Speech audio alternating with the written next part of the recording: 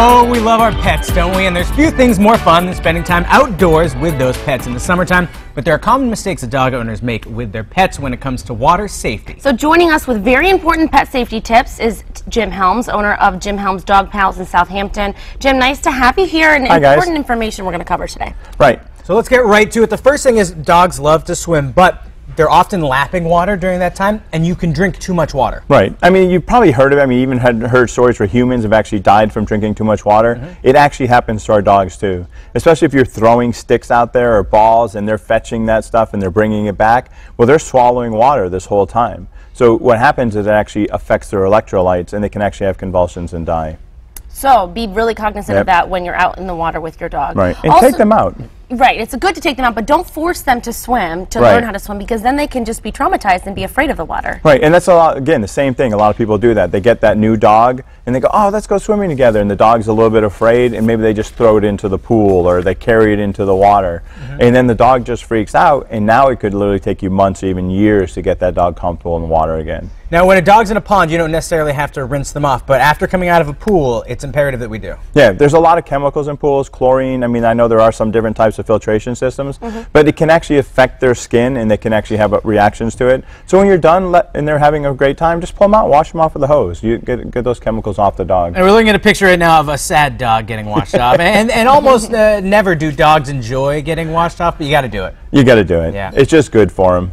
So you could use hose water. Obviously, That's you're what- yeah, outside. just just hose. hose. them down. You don't have to Yeah. put them in the tub. That could be scary for you know anyone. Oh, but but it's freezing cold water. Oh, my dog's going to be so furious watching this. Yeah, no, but love it it. really is. You want to wash them off because a lot of dogs do have a infect or infections or allergic reactions to the chlorine and stuff. They're sensitive, Yeah, they right? are. And not all breeds are necessarily good swimmers, so you have to keep that in mind too, because some may need a life preserver, like Yep. kids. I mean, a lot of dogs. There's nothing wrong if you're out canoeing or out in the lake. You may want to actually use that life preserver for safety because dogs can get tired and they do drown out there. But bulldogs and pugs, especially, I mean, there's a couple of those breeds that really are not really meant for swimming. they sink like stones. We'll keep them out of the water. They're land dogs. They're so cute, though, aren't they? Well, lastly, I know a lot of kids get spooked by this stuff, but pets do too, and they don't know how to, you know, internalize it and conceptualize it. Uh, fireworks. So, what do we need to know when it comes to the fireworks? The general principle don't bring them to the fireworks. I mean i gotta go lie there are definitely some dogs that are great in crowds great with loud noises. But if you freak out that dog for the first time you bring them they may get become afraid of backfiring cars they may become afraid of thunder and lightning. And then you've got to live with that dog for the rest of your life. So if you torture them in a way. I mean, it's not really torture, I get it. Mm-hmm. But I mean, you can literally hurt them for the rest of their lives. And I've known dogs who will literally jump through second store screen windows that will rip apart houses because of, of loud noises. So don't bring them. There's no real reason to it. You can go and enjoy it, and don't bring your dog. And so, if we're going to keep them in the house, there's going to be those loud noises. Should we lock them in a, a room where they feel they feel safe? I don't know if I say locking them and keep them with something that makes them safe. So if they've got a great bed that they love to lay down in, um, some dogs do love their crates. Put them in their crate. Turn on some uh, music, some calming music, or something that they like. So it'll help them keep them calm. Yeah. Yeah, like Yeah. 22 News.